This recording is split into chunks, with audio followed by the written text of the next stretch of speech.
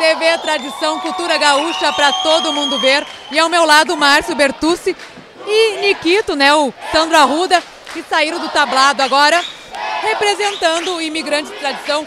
O Nikito só observando lá de cima, controlando, vendo que tá tudo saindo como combinado. E o Márcio sentindo na pele a emoção.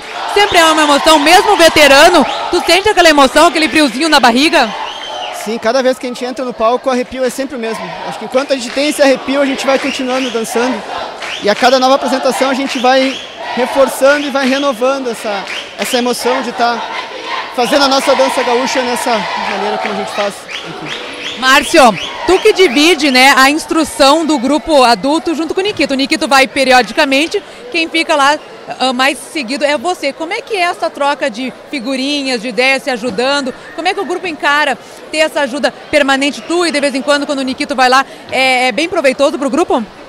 A gente entende, eu entendo, o Nikito entende, o grupo entende que esse conjunto é o que faz o grupo crescer. Porque às vezes o papel só de um ou só de outro acaba uh, ficando, às vezes, faltando alguma coisa. E quando tem duas pessoas que podem ir se ajudando e complementando, o trabalho só cresce com isso. Então acho que a gente já tem essa parceria 20 anos, pelo menos, aí, né?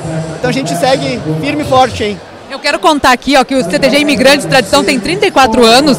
Em 2013, eles foram convidados pela Federação Brasileira de Arte Popular para um festival lá no Peru. E depois, em 2014, foram para o México. Então, assim, ó, tiveram experiências internacionais. Isso enriquece o, o grupo, né? Com certeza, a gente vê que em todo mundo tem pessoas que fazem o que a gente faz aqui com as suas culturas. A cultura gaúcha é riquíssima e, e a gente leva ela para outros lugares e, e vê também o que os outros fazem lá. Essa junção de coisas é que é espetacular num festival desse. Bom, Sandro Arruda, Nikito, tu escolheste uma dança que eu acho impressionante, linda, não é sempre que a gente vê. Que bom que tu trouxe pra, pra gente. O prefeito estava ali assistindo, impressionado com essa dança, porque ele não conhecia. Então eu queria que tu contasse um pouquinho da faca maruja da história, então, dessa dança.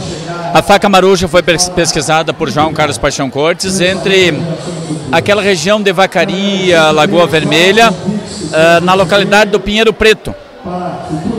E é uma dança muito curiosa porque os cavaleiros uh, bailam com um facão e as damas com um copo. Não pode virar? Que não pode virar. Bebida alcoólica que pode ser a canha ou então o vinho tinto, que era a bebida mais é a bebida mais apreciada daquela região. E é em ritmo de valsa, né? É dançada em ternos, cada terno formado por dois pares, e em determinados momentos ela se torna uma dança de conjunto. E o final da dança apresenta uma característica curiosa que é a liberdade do tema. Thaís, eu e o Márcio, a gente trabalha essa dança com o imigrante há mais de 15 anos. Quer dizer, a nossa parceria lá é antiga. Né? Então, é um trabalho muito gostoso que a gente faz em Caxias. Hoje nós temos integrantes na adulta que começaram quando eram crianças na Mirim com a gente, apesar de sermos bastante novos, eu e o Márcio, né? Porque começamos a instruir muito precoce. Com certeza. Ai, olha, e no final vi que os meninos bebem. Podem beber que, o vinho daí? Claro, pode beber. E há nessa dança uma figura curiosa que é o, o parceiro da canha.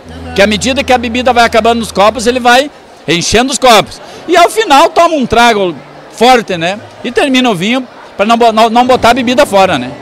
Que bacana. Tu sabe, Nikito, que a nossa, a nossa é, transmissão esse ano foi muito é, elogiada nas redes sociais por conta dessas explicações, porque nós estamos instruindo o pessoal que está nos assistindo. E hoje tiveram é, participações dos Estados Unidos, de São Paulo, é, tantos lugares, já, estou embaralhada aqui, mas assim, me chamou a atenção, do Rio de Janeiro. Então, assim, que bom que tu vens aqui, então, a brilhantar e nos ajudar pela TV Tradição, transmitir realmente o que está acontecendo aqui. Thaís, uma coisa importante também é, de destacar é aqui no Rio Grande do Sul agora o Fegadã que é o Festival Gaúcho de Dança, para quem dança como o folclorista Paixão Cortes ensina, leciona em suas obras e palestras e cursos, e também o saudoso Lessa. E o CTG Imigrantes Tradição foi o primeiro vencedor desse festival, indo na final do Enarte fazer a apresentação antes da premiação. Então isso é importante destacar e o CTG Imigrantes Tradição assume esse compromisso de transmitir as danças com a maior correção possível. Que bom, obrigada meninos, parabéns, sucesso sempre e obrigada por colaborar aqui com a TV Tradição. É um prazer sempre poder colaborar com vocês e agora junto nos eventos, né? Tomara que a TV Tradição venha mais vezes. Tomara que tenha vida longa em Santa Catarina. Márcio, muito obrigado, foste muito simpático, me passando muitas informações, me dando os caminhos para chegar em todas as entidades de Caxias do Sul. Muito obrigado e nós é que agradecemos a, TV Tradição está mostrando isso. Acho que como o Nikito falou, quanto mais gente vê isso e conhecer, para nossa tradição vai ser melhor, então. Obrigada, meninos. Então tá.